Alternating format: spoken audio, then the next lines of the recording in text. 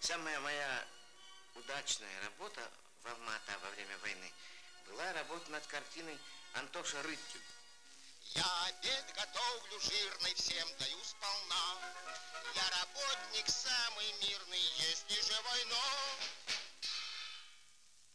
Отложу свою мутовку, сдам свое меню И шумовку на винтовку с радостью сменю. Собственно, самый первый боевой сборник, э, он был не об Антоше Рыбкине.